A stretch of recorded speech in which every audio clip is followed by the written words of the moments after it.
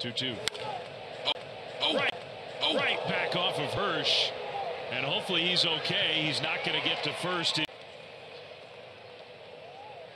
I guess